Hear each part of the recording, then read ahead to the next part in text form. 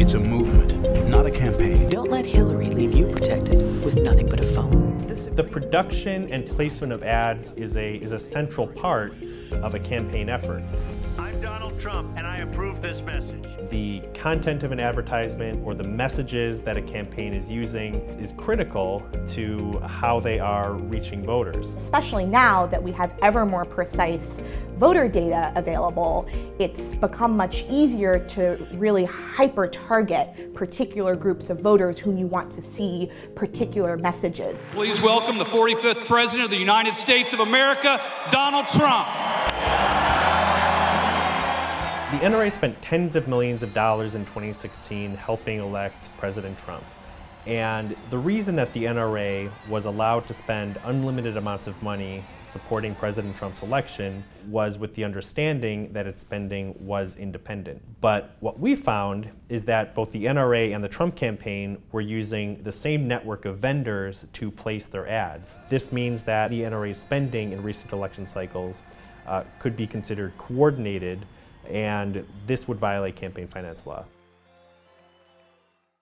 So our investigation of this issue has been going on for, for a number of months and started last July when some great reporting by, by Mike Spies at The Trace and Politico uncovered the first layer to this scheme.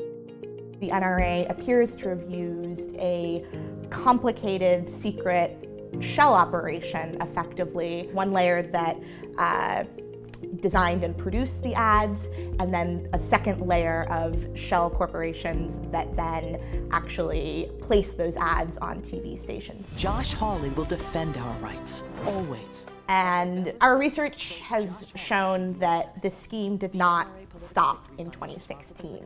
We identified at least two Senate campaigns in the 2018 cycle that the NRA appears to have reprised its scheme in. For years, the NRA had been contracting with OnMessage, a media consulting firm, to produce its ads.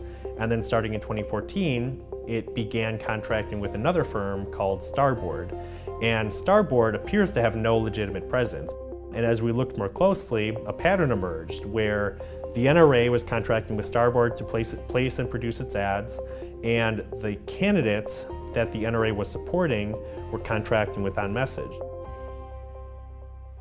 We are going to keep on winning. You're going to get on your side a Montana fighter. We had additional evidence of coordination in the Montana Senate race when Montana U.S. Senate candidate Matt Rosendale was caught on tape telling a supporter that the NRA was going to be coming into his race with ads about the Supreme Court. Outside groups started spending on your behalf? Yes, and I fully expect the NRA is going to come. The uh, Supreme Court um, confirmations are big. That's, that's what sent the NRA over the line.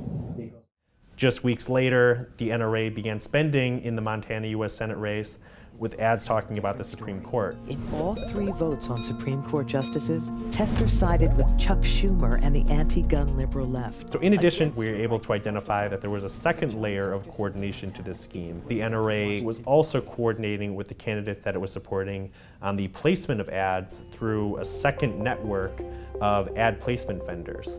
And in some cases, we saw that the same employees of a firm called National Media were placing ads on behalf of candidates as we're placing ads on behalf of the NRA supporting those same candidates. It looks like a corporation called Red Eagle Media Group is placing the NRA's ads, and it looks like an organization called American Media and Advocacy Group is placing the campaign's ads. But in reality, those seem to be effectively shells of national media, and they share the same employees, they're at the same address, and they don't have, appear to have any sort of separate public presence. A defense that you will typically get in a situation where a campaign and an outside group might be using the same vendor is that there was a firewall and that you had a separate group of employees working for the campaign and then you had a firewall between them and the other employees working on the other group's ads and campaigns. But that argument really completely falls apart if you have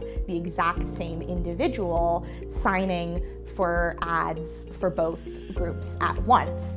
That is some of the clearest evidence of coordination that I've ever seen. It's impossible to imagine that the individual person who was placing the NRA's pro-Trump ads and the Trump campaign's own ads established a firewall in their brain. Once the Campaign Legal Center became aware of the NRA's illegal coordination scheme, we filed four different complaints with the FEC, along with Giffords, a gun safety organization, asking for an investigation into the NRA's illegal coordinated support for seven different political campaigns. The Federal Election Commission, or FEC, is the federal government agency charged with administering and enforcing federal campaign finance law. And for much of its history, it functioned reasonably well. Unfortunately, over the last decade, the Federal Election Commission has consistently failed at that duty with which it was entrusted. And it repeatedly fails to open investigations and to enforce the law when violations have occurred. It's been mired in partisan deadlock. The administrative complaints uh, charging NRA coordination with the campaigns were filed by the Campaign Legal Center and by the Giffords Advocacy Organization. We've now waited 120 days and more uh, under the law, the FEC had a duty to act. It hasn't acted, so we have to go to court. We have to sue them. In this lawsuit, the plaintiff will be the Giffords organization and the lawyers will be the Campaign Legal Center Action. The FEC has an enormous responsibility to protect the integrity of our democracy and to protect the integrity of our elections. And if the FEC is not enforcing the law against even clear violations like this one, it sends a signal that wealthy donors and political operatives can buy influence over our democracy as they please, regardless of what the laws say, and then our political system is increasingly tilted towards the interests of a handful of wealthy donors. When you put all of the pieces together and you look at all of the evidence, you see what appears to be a pretty clear picture of deliberate, illegal, coordinated activity. When the Federal Election Commission fails to enforce campaign finance law, even in the face of overwhelming evidence, that sends a message to other groups that they can push the legal envelope and get away with it.